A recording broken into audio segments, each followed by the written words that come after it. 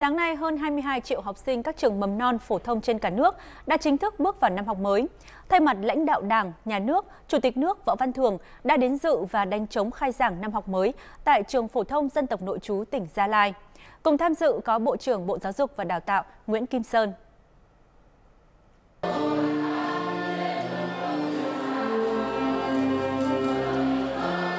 Phát biểu tại buổi lễ, Chủ tịch nước khẳng định việc thành lập hệ thống trường phổ thông dân tộc nội trú nói riêng và coi trọng giáo dục cho con em đồng bào dân tộc thiểu số nói chung là một chủ trương thể hiện tư duy và tầm nhìn chiến lược của Đảng, Nhà nước ta, mang tính thời sự và ý nghĩa thực tiễn sâu sắc. Chủ tịch nước đề nghị nhà trường và các cô giáo, thầy giáo phải rất coi trọng việc đổi mới phương pháp giảng dạy, phải kiên trì, bền bỉ, chắc chắn, có phương pháp xử phạm phù hợp với từng lớp học, từng lứa tuổi, thậm chí trong từng lớp đối với từng học sinh mỗi một em học sinh ở đây là một uh, cá tính độc đáo và sáng tạo. Và nhiệm vụ của cô giáo thầy giáo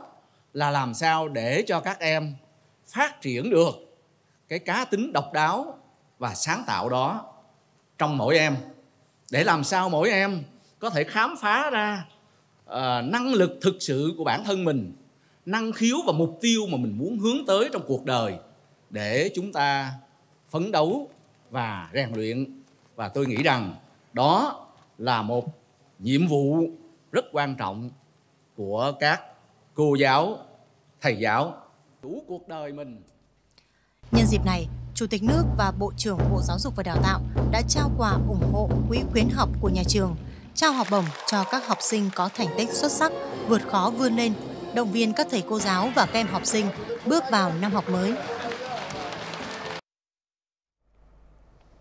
Tại huyện Phúc Thọ, Chủ tịch Quốc hội Vương Đình Huệ đã tham dự lễ khai giảng năm học mới của trường hữu nghị T78, cái nôi đào tạo lưu học sinh Lào và con em các dân tộc của Việt Nam, góp phần hiện thực hóa chính sách dân tộc trong giáo dục đào tạo, góp phần củng cố, tăng cường mối quan hệ hữu nghị đặc biệt có 102 giữa hai nước Việt Nam Lào. Cùng dự có Phó Chủ tịch Ủy ban nhân dân thành phố Hà Nội Nguyễn Trọng Đông. Chủ tịch Quốc hội khẳng định Đảng, Nhà nước ta luôn đặc biệt coi trọng giáo dục, xem đây là quốc sách hàng đầu và xác định việc phát triển nguồn nhân lực, nhất là nguồn nhân lực chất lượng cao, là một trong những đột phá chiến lược để phát triển đất nước. Để trường hữu nghị T78 tiếp tục có những bước phát triển mới, xứng đáng với niềm tin và kỳ vọng của hai đảng, hai nhà nước, Chủ tịch Quốc hội đề nghị các bộ, ban ngành và đặc biệt là Bộ Giáo dục và Đào tạo, thành phố Hà Nội và huyện Phúc Thọ tiếp tục quan tâm tạo điều kiện để các thầy cô giáo, kem học sinh yên tâm học tập, công tác, hoàn thành tốt nhiệm vụ được giao. Nhân dịp này, Chủ tịch Quốc hội đã trao tặng hoa, quà lưu niệm, 10 bộ máy tính cho nhà trường, trao quà cho 10 học sinh tiêu biểu, tới thăm khu ký túc xá học sinh và thăm khu trưng bày ảnh về truyền thống 65 năm của trường hữu nghị T78. Thưa quý vị, cũng trong sáng nay, Ủy viên Bộ Chính trị, Bí thư Thành ủy Đinh Tiến Dũng, trường đoàn đại biểu Quốc hội thành phố Hà Nội đã đến dự lễ khai giảng năm học mới tại trường Trung học cơ sở Ngô Quyền ở xã Đông Hội, huyện Đông Anh. Đánh chống khai giảng năm học mới, chúc mừng thầy và trò trường Trung học cơ sở Ngô Quyền. Bí thư Thành ủy Đinh Tiến Dũng đánh giá cao hiệu quả từ chủ trương đầu tư cho giáo dục của huyện Đông Anh những năm qua. Được thành lập từ năm 2020 với cơ sở vật chất đồng bộ, hiện đại, trường Trung học cơ sở Ngô Quyền đã không ngừng đổi mới, tích cực ứng dụng công nghệ, nâng cao chất lượng dạy và học. Năm học vừa qua, trường được công nhận đạt chuẩn quốc gia mức độ 2. Chất lượng giáo dục đại trà được giữ vững, chất lượng giáo dục mũi nhọn có nhiều khởi sắc, giành nhiều giải cao trong các kỳ thi học sinh giỏi, giáo viên giỏi cấp huyện và thành phố. Đặc biệt trong đó là huy chương vàng hội thi giai điệu tuổi hồng, ngành giáo dục và đào tạo thủ đô. Tỷ lệ học sinh lớp 9 thi đỗ vào lớp 10 trung học phổ thông hệ công lập đạt 99,25%, xếp thứ nhất toàn huyện Đông Anh. Năm học này, trường Trung học cơ sở Ngô Quyền đón 225 học sinh lớp 6, chào đón lễ khai giảng năm học mới trong không khí vui mừng phấn khởi. 865 học sinh và các thầy cô giáo cùng nêu quyết tâm thi đua dạy tốt, học tốt, thực hiện thắng lợi chủ đề năm học, đoàn kết, kỷ cương, sáng tạo, tiếp tục đổi mới, nâng cao chất lượng giáo dục và đào tạo. Tham dự tiết học đầu tiên và kiểm tra cơ sở vật chất, Bí thư Thành ủy Đinh Tiến Dũng mong muốn nhà trường và huyện Đông Anh tiếp tục quan tâm giáo dục học sinh phát triển toàn diện cả về trí, đức, thể, mỹ. Cũng trong sáng nay, các đồng chí lãnh đạo Thành ủy, Hội đồng nhân dân, Ủy ban nhân dân, Ủy ban Mặt trận Tổ quốc thành phố đã tham dự lễ khai giảng năm học mới của nhiều trường học trên địa bàn thành phố. Phó Bí thư Thường trực Thành ủy Hà Nội Nguyễn Thị Tuyến đã dự lễ khai giảng năm học mới tại trường Trung học phổ thông Minh Quang, huyện Ba Vì. Năm học này, trường Trung học phổ thông Minh Quang có gần 1.000 học sinh của 7 xã dân tộc miền núi thuộc huyện Ba Vì. Dù mặt bằng chung, điểm đầu vào thấp hơn so với các trường trung học phổ thông của thành phố, nhưng thầy và trò nhà trường quyết tâm hoàn thành tốt nhiệm vụ năm học. Tại buổi lễ, Phó Bí thư Thường trực Thành ủy Nguyễn Thị Tuyến đã đánh trống khai giảng năm học mới và trao tặng 9 xe đạp điện trị giá 90 triệu đồng cho 9 học sinh nghèo vượt khó. Cũng trong sáng nay, Chủ tịch Ủy ban nhân dân thành phố Hà Nội Trần Sĩ Thanh đã đến dự và chia vui cùng thầy trò trường Trung học phổ thông chuyên Hà Nội Amsterdam. Trải qua 38 năm hình thành và phát triển, trường Trung học phổ thông chuyên Hà Nội Amsterdam đã khẳng định vị thế là một trường chuyên dẫn đầu về thành tích đào tạo. Năm học 2022-2023 vừa qua, thầy và trò nhà trường đã chinh phục hơn 100 giải tại cuộc thi học sinh giỏi quốc gia, đánh chống khai giảng năm học mới. Chủ tịch Ủy ban nhân dân thành phố Hà Nội đã trao thưởng cho các em học sinh và thầy cô dẫn đội đã đạt thành tích xuất sắc trong kỳ thi Olympic Thiên văn và Vật lý Thiên văn quốc tế năm 2023, IOAA, cuộc thi khoa học máy tính Microsoft Inis Cup Junior 2023. Phó Bí thư Thành ủy, Chủ tịch Hội đồng nhân dân thành phố Nguyễn Ngọc Tuấn đã dự lễ khai giảng năm học mới tại trường Trung học cơ sở Cao Bá Quát, huyện Gia Lâm. Đây là ngôi trường có tỷ lệ học sinh lớp 9 đỗ vào lớp 10 trung học phổ thông công lập xếp thứ nhất toàn huyện.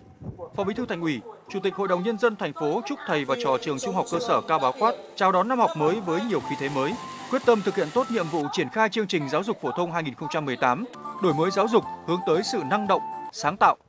tặng quà các học sinh có hoàn cảnh khó khăn, vượt khó vươn lên, trực tiếp đi thăm cơ sở vật chất của nhà trường.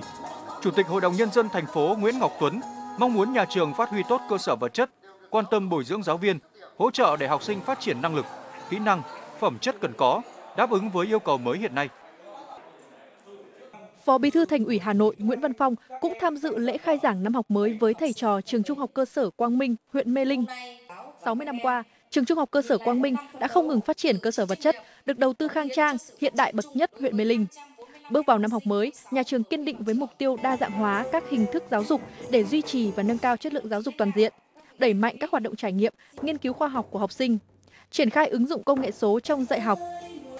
Phó Bí thư Thành ủy Nguyễn Văn Phong cùng các đồng chí lãnh đạo Sở Giáo dục và Đào tạo huyện Mê Linh đã trồng cây lưu niệm tại khuôn viên nhà trường.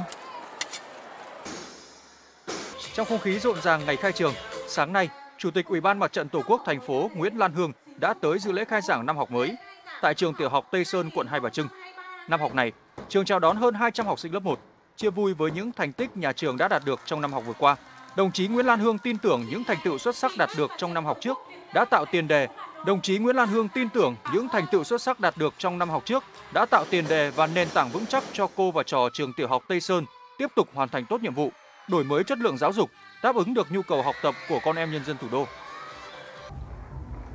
Cũng trong sáng nay, Phó Chủ tịch Ủy ban nhân dân thành phố Vũ Thu Hà đã về tặng hoa, đánh chống khai trường, chúc mừng, động viên thầy cô và 409 học sinh trường tiểu học Nam Tiến A, huyện Phú Xuyên trong năm học mới này tiếp tục vượt khó, đạt nhiều thành tích cao trong giảng dạy và học tập. Mặc dù cơ sở vật chất nhà trường còn nhiều khó khăn, nhưng năm học vừa qua, nhà trường có hai học sinh giỏi quốc tế môn toán FMO, ba học sinh giỏi quốc gia trạng nguyên tiếng Việt và toán FMO. 11 học sinh giỏi cấp thành phố, trạng nguyên tiếng Việt và 100% cán bộ giáo viên, nhân viên nhà trường đều hoàn thành tốt nhiệm vụ năm học.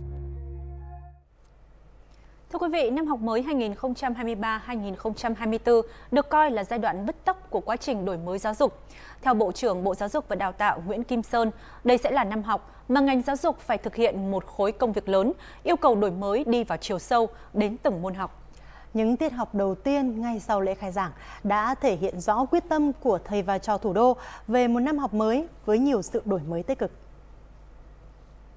Chúng ta đã từng làm các Lego rồi chưa ạ? Rồi, đã từng làm các Lego rồi đúng không ạ? Và các bạn đã theo chủ đề gì ạ?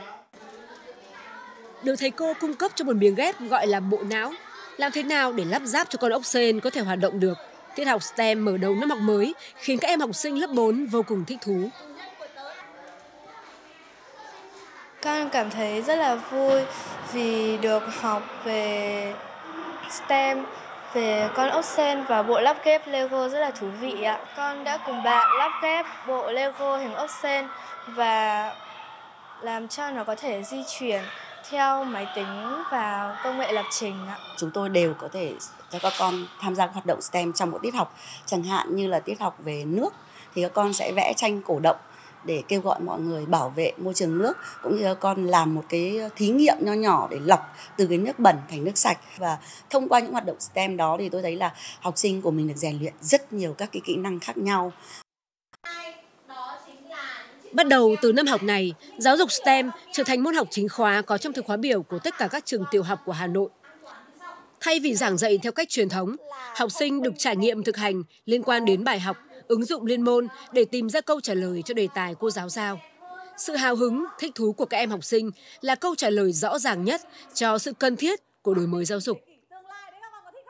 Ờ, phụ huynh học sinh cũng như các con đều rất hào hứng khi đến tiết học và trường chúng tôi là 100% phụ huynh đăng ký môn học này và phản hồi từ phụ huynh rất tốt. Và nhà trường cũng đã triển khai tập huấn đối với giáo viên của mình. Đồng thời là chúng tôi đã kết hợp với cả đơn vị liên kết uh, trao đổi kinh nghiệm truyền đạt tất cả những cái kinh nghiệm của các bạn để cho giáo viên của chúng tôi nhanh chóng hơn, tiếp cận hơn và làm tốt hơn cái công tác giáo dục STEM trong trường học. Một năm học mới bắt đầu, những mục tiêu và kỳ vọng mới lại được đặt ra. Tại ngôi trường này, những cây ước mơ được dựng lên tại mỗi lớp. Ở đó, từng học sinh và thầy cô giáo sẽ cùng chia sẻ những dự định, những mục tiêu của mình trong năm học này.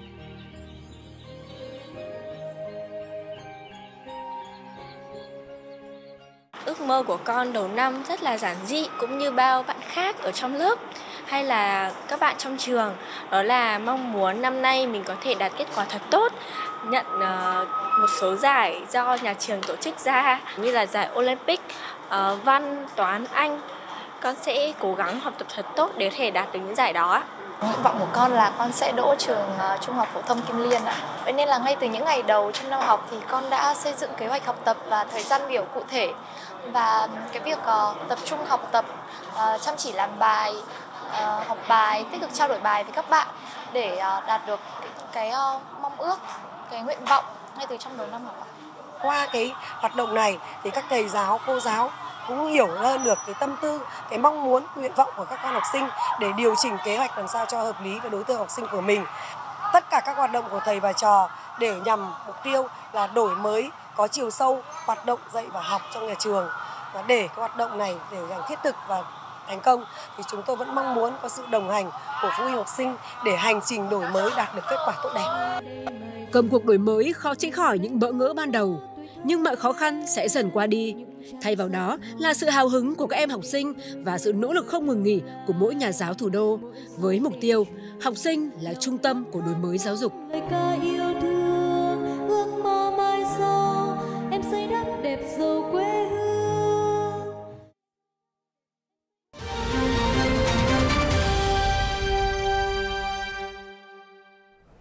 Chuyển sang các tin tức khác, sáng nay Ủy viên Bộ Chính trị, Bí thư Thành ủy Đinh Tiến Dũng đã tham dự phát lệnh khởi công và động thổ nhóm dự án xây dựng hạ tầng kỹ thuật bốn cụm công nghiệp trên địa bàn huyện Đông Anh. Các dự án được khởi công bao gồm cụm công nghiệp Thiết Bình, diện tích khoảng 20,98 ha, tổng vốn đầu tư khoảng 491,7 tỷ đồng. Cụm công nghiệp Liên Hà 2 rộng 21,99 ha, tổng vốn đầu tư khoảng 426,7 tỷ đồng. Cụm công nghiệp Dục Tú diện tích 15 ha, tổng vốn đầu tư 336,78 tỷ đồng và cụm công nghiệp Thụy Lâm rộng 17 ha, tổng vốn đầu tư khoảng 326,2 tỷ đồng. Bốn cụm công nghiệp đều xác định thu hút doanh nghiệp sản xuất chế biến gỗ, mộc dân dụng, chạm khắc mỹ nghệ, sơn mài và các ngành nghề sản xuất kinh doanh khác theo quy hoạch hiện đại, áp dụng công nghệ tiên tiến, thu hút dịch chuyển các hộ sản xuất trong khu dân cư, góp phần giảm thiểu ô nhiễm môi trường, Việc bổ sung thêm 4 cụm công nghiệp có ý nghĩa quan trọng tạo không gian, mở rộng và thúc đẩy phát triển công nghiệp, tiểu thủ công nghiệp trên địa bàn. Thay mặt lãnh đạo thành phố phát biểu chỉ đạo, Phó Chủ tịch Ủy ban nhân dân thành phố Nguyễn Mạnh Quyền đề nghị các sở ngành cùng huyện Đông Anh tiếp tục tạo điều kiện thuận lợi nhất cho các chủ đầu tư trong quá trình triển khai thực hiện dự án, nhất là việc tháo gỡ khó khăn vướng mắc, rút ngắn thời gian thực hiện thủ tục hành chính, thường xuyên kiểm tra, đôn đốc, hướng dẫn chủ đầu tư xây dựng hạ tầng kỹ thuật, bốn cụm công nghiệp theo hướng văn minh, hiện đại, đảm bảo sáng xanh sạch đẹp. Phó Chủ tịch Nguyễn Mạnh Quyền cũng đề nghị chủ đầu tư tập trung toàn bộ nguồn lực để nhanh chóng hoàn thành đầu tư xây dựng hạ tầng kỹ thuật các cụm công nghiệp, thu hút nhà đầu tư thứ phát vào sản xuất kinh doanh để phát huy tối đa hiệu quả của dự án, đóng góp vào sự phát triển kinh tế xã hội của huyện Đông Anh nói riêng và thành phố nói chung. Tiếp tục là cụm tin kinh tế phóng viên vừa cập nhật. Đúng như dự báo từ 15 giờ chiều nay, giá xăng tăng và đây là lần tăng thứ 6 liên tiếp. Tuy nhiên, lần tăng này cả giá xăng và dầu đều tăng nhẹ. Cụ thể, giá xăng E5 RON92 tăng 140 đồng một lít lên 23.470 đồng một lít. Xăng RON95 tăng 270 đồng một lít, áp sát mốc 25.000 đồng một lít. Tương tự, giá dầu diesel tăng 290 đồng một lít lên 22.640 đồng một lít. Giá dầu hỏa tăng 500 đồng một lít. Dầu ma rút giảm 280 đồng một kg. Tại kỳ điều hành này, Liên Bộ không trích lập, đồng thời không chi quỹ bình ổn đối với tất cả mặt hàng xăng dầu. Dịp nghỉ lễ vừa qua, Hà Nội đón hơn 640.000 lượt khách du lịch, trong đó hơn 41,7 nghìn lượt khách du lịch quốc tế và gần 600.000 lượt khách du lịch nội địa. Tổng thu từ khách du lịch đạt hơn 1,76 nghìn tỷ đồng, tăng 51% so với cùng kỳ năm 2022. Tổng thu từ khách du lịch ước đạt hơn 2.000 tỷ đồng, tăng 54% so với cùng kỳ năm 2022. Đặc biệt, các khu, điểm tham quan du lịch trên địa bàn thành phố đã được trang hoàng và chuẩn bị các điều kiện tốt nhất phục vụ khách du lịch và người dân thủ đô đến tham quan, trải nghiệm. Trước thông tin một số siêu thị của Anh dừng bán thanh long Việt Nam, Văn phòng thông báo và điểm hỏi đáp quốc gia về vệ sinh dịch tễ và kiểm dịch động thực vật khẳng định chưa nhận được bất kỳ cảnh báo nào về việc thanh long Việt Nam vi phạm về an toàn thực phẩm của Anh trong 6 tháng đầu năm 2023. Cho đến thời điểm hiện nay, việc xuất khẩu thanh long Việt Nam sang Anh vẫn diễn ra bình thường. Thưa quý vị, theo các chuyên gia, xu hướng nợ xấu ngân hàng tới cuối năm nay được nhận định là còn tiếp tục gia tăng. Tuy nhiên, sẽ có sự phân hóa giữa các nhóm ngân hàng. Bên cạnh nợ xấu tăng cao, thì việc xử lý nợ xấu của các ngân hàng cũng đang gặp không ít khó khăn.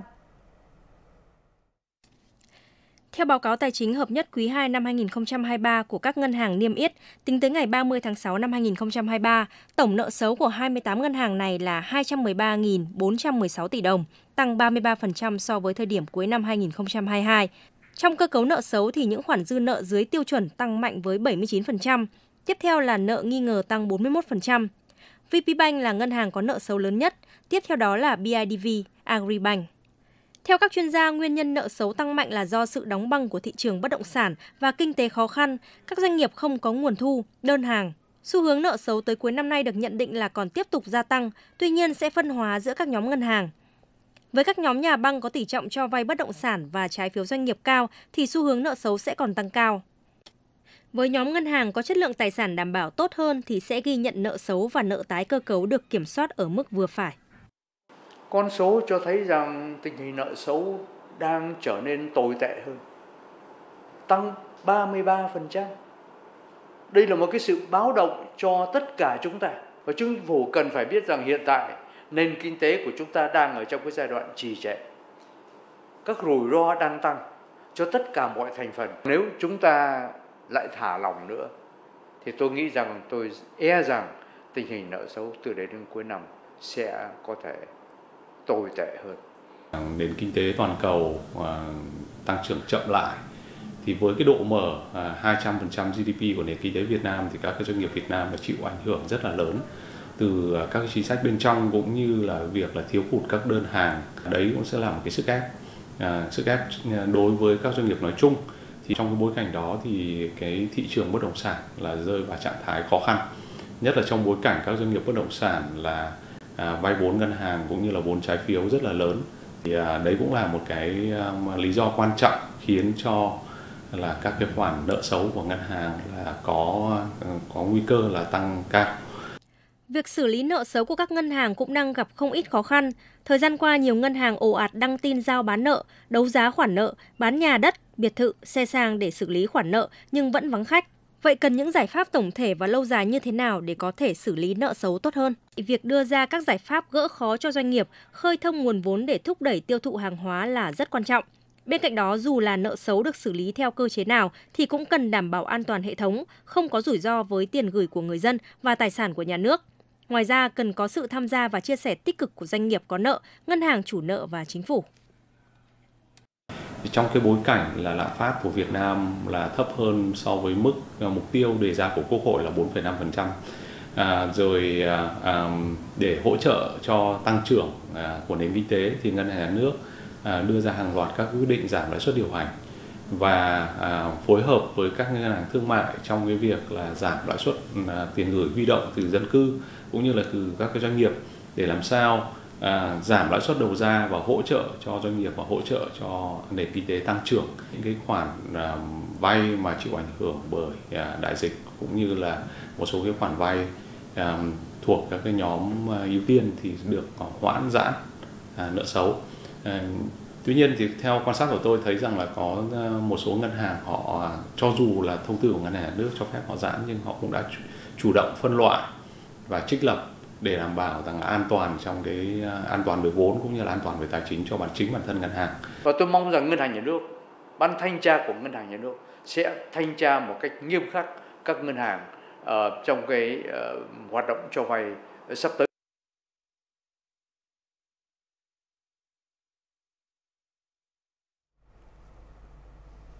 Thưa quý vị, Phát triển văn hóa là một trong 9 nhóm chính sách được đề xuất sửa đổi bổ sung trong dự án luật thủ đô sửa đổi với nhiều nội dung mới nhằm giúp Hà Nội có cơ chế vượt trội đặc thù để bảo tồn cũng như phát huy được bản sắc văn hóa của thủ đô. Trong quá trình xây dựng luật, thừa, luật thủ đô sửa đổi, một số ý kiến về việc xây dựng các quy định cụ thể để tạo được cơ chế thuận lợi tháo gỡ vướng mắc cho hoạt động văn hóa hiện nay đã được đưa ra. Làng văn hóa du lịch các dân tộc Việt Nam được xây dựng từ năm 1999 dưới sự quản lý của Bộ Văn hóa, Thể thao và Du lịch, được coi là khu vực đặc thù tại quyết định số 39/2014 của Thủ tướng Chính phủ, quy định Ban Quản lý Làng Văn hóa Du lịch các dân tộc Việt Nam có thẩm quyền phê duyệt, quản lý và giám sát thực hiện quy hoạch chi tiết các khu chức năng, quyết định đầu tư, giao đất cho các nhà đầu tư. Nhưng hiện tại, với hơn 1.544 ha là đất sạch mà không thu hút được đầu tư do những vướng mắc chưa được tháo gỡ. Là hiện nay đất của làng văn hóa 1.544 ha đã được thủ tướng là ờ, là giao cho làng văn hóa và đã có phê duyệt quy hoạch chung và đang chúng tôi đang tiến hành làm quy hoạch phân khu. Thế nhưng mà cái thẩm quyền mà mà mà cấp chủ trương đầu tư ấy, thì hiện nay theo cái luật đầu tư thì lại thuộc ủy ban nhân dân thành phố Hà Nội rồi cái phê duyệt quy hoạch một hai nghìn một năm trăm thì lại cũng là thuộc ủy ban thành phố Hà Nội rồi cái giao lại đất hoặc cho thuê đất thì hiện nay lại thuộc cái ủy ban nhân dân các cấp. Thì vô hình dung là đối với làng văn hóa là những cái nội dung mà được thủ tướng cho vào cái quyết định 39 trước đây thì nó vô hiệu hóa. Nếu như ở cái làng văn hóa mà được công nhận là một khu công nghiệp văn hóa, thì anh được ủy quyền cả về đấu giá đất. Đấy, anh được là cấp sổ. Đấy, anh được kêu gọi đầu tư anh được ưu đãi về đất đai giống như các cái khu kinh tế cửa khẩu ấy thì anh mới làm được thế và nếu mà làm được cái này thì sẽ làm được cái nghị quyết về xây dựng văn hóa con người Việt Nam là phải có công nghiệp về văn hóa Phát triển nền công nghiệp văn hóa dựa trên nền tảng sẵn có là một trong những mục tiêu lớn của Hà Nội. Nhiều ý kiến mong muốn luật thủ đô sửa đổi lần này sẽ có những quy định về cơ chế chính sách mang tính đặc thù, vượt trước về văn hóa, để mục tiêu kết hợp hài hòa nhuần nhuyễn giữa giữ gìn bản sắc văn hóa với phát triển kinh tế trở thành hiện thực. Tôi hy vọng rằng uh, sẽ có một cái một cái cơ hội lớn cho các cộng đồng đang nắm giữ di sản đó là các nghệ nhân nắm giữ giá trị phi vật thể các cái chủ thể của các cái di tích và đặc biệt là có cả cơ hội cho thế hệ trẻ trong việc khai thác cái nguồn tài nguyên đấy tạo ra những cái sáng tạo mới cho văn hóa cho giáo dục và để phát triển du lịch bền vững theo lãnh đạo Bộ Văn hóa, Thể thao và Du lịch, Bộ Nghiên cứu đề xuất với Ban soạn thảo có một điều riêng quy định về phát triển công nghiệp văn hóa của Hà Nội như quy định phát triển các khu công nghệ cao, có quy định chính sách đặc thù riêng. Đây là vấn đề lớn, nếu triển khai được ở Hà Nội thì sẽ triển khai được ở các nơi khác. Hà Nội đặt mục tiêu đến năm 2030 trở thành thành phố sáng tạo, ngành công nghiệp văn hóa thủ đô cơ bản trở thành một ngành kinh tế mũi nhọn, thúc đẩy mạnh mẽ sự phát triển của các ngành, lĩnh vực khác.